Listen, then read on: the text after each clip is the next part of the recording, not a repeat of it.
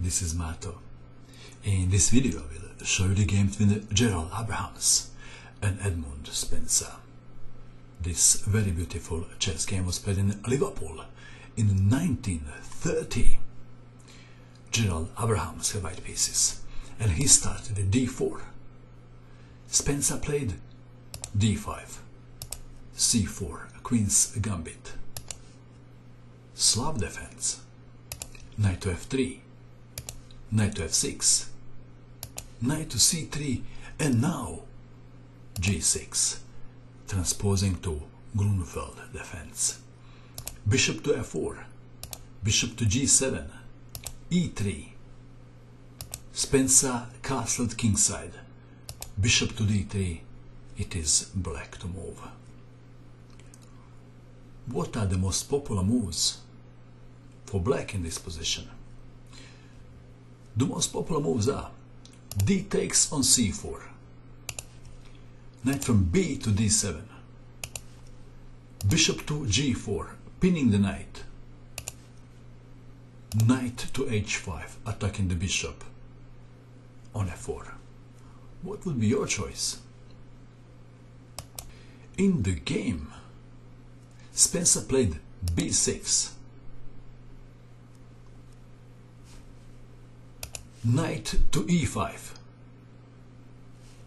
bishop to b7, c takes on d5, c takes on d5. Now black light-squared bishop is attacking his own pawn on d5.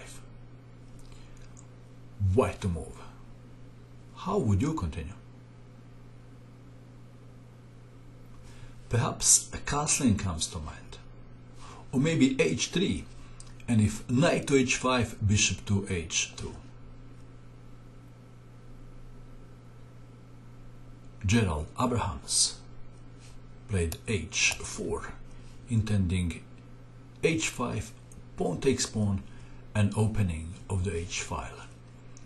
h6, h5, and black is ready with g5. White to move. What is the best square for the bishop? Is it g3 or h2 or there is some other move? If you wish, you can pause the video and you can try to find the best move for white dark square bishop. What did you find? Abrahams sacrificed the bishop. Is it a sound sacrifice? Well, he calculated deep and hard and decided to do it. Pawn takes bishop, h6, black to move. Black considered bishop to h8, but instead he played bishop takes pawn. Let's have a look what Black didn't like about bishop to h8. That h7 check, king to g7, queen to f3, intending queen to h3 and queen to h6 checkmate. If bishop to c8 preventing queen to h3, then bishop to f5 would be winning for white. Okay, so we have bishop takes pawn, rook takes bishop. King to g7, attacking the rook. White to move. What is the best square for the rook now? This is the most interesting position of the game. Please pause the video and find the best move for white. What did you find? Is this good? But then black can play something like rook to h8 or maybe knight to c6 catching up with development. What else can white play? Maybe white can play even rook to h5. And if knight takes, queen takes, we do attack.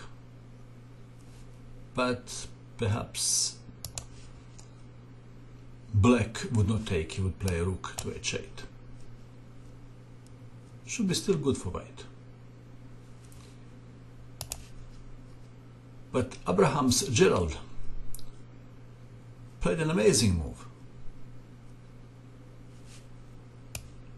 f4, sacrificing the rook. King takes rook.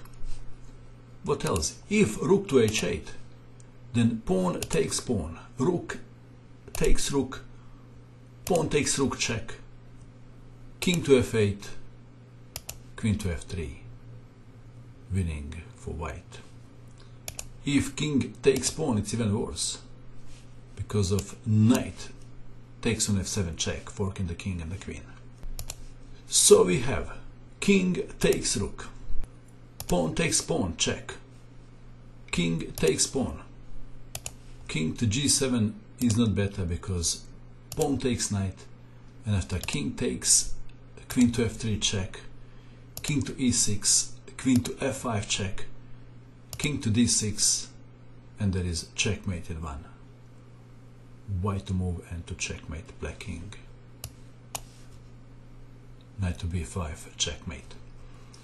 So Spencer captured the pawn queen to f3 black is a whole rook up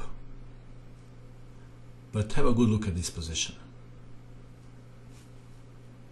black king needs two miracles to survive. King to h6. Black king has put his neck shoes on and is trying to run away. Check. King to g7. Queen to g5 check. King to h8. White to move. White played the move and black resigned. The move is castling queenside. The threat is rook to h1.